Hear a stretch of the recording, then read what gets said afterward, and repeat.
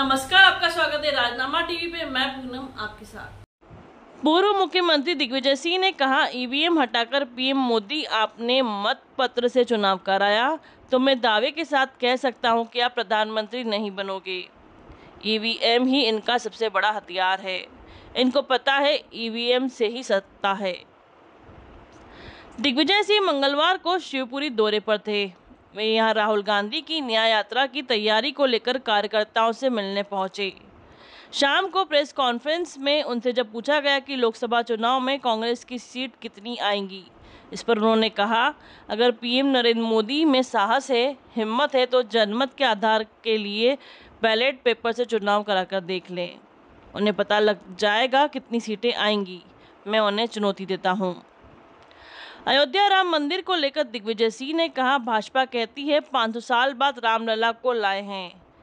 जब इतने साल बाद राम को ला सकते हो तो देश के करोड़ों रुपए लूटकर भागे नीरव मोदी और विजय माल्या को वापस क्यों नहीं ला पा रहे?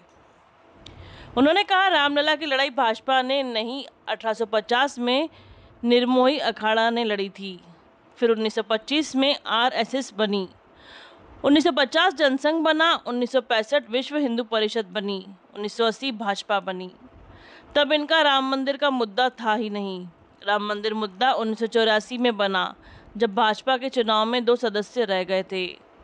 तब से अब तक हिंदू मुस्लिम को लड़वा रहे हैं। इनका मुख्य उद्देश्य राम मंदिर को बनाना नहीं, मस्जिद को गिराना था। जिस मस्जिद को गिराकर भाजपा देश में नफरत फैलाने का काम कर रही थी, वह मंदिर का निर्माण नहीं हुआ। स्थान कांग्रेस के शासन में स्वीकृत किया गया था, मंदिर वहीं बना है। दिग्विजय सिंह ने कार्यकर्ताओं से कहा, यह देश सभी का है, हिंदू, मुस्लिम एक न होते तो देश को आज़ादी नहीं मिल सकती थी।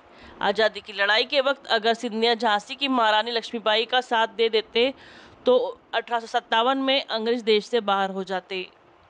अंग्रेज़ समझ चुके थे कि देश में ब्रिटिश हुकूमत चलाने के लिए हिंदू और मुसलमानों को बांटना होगा।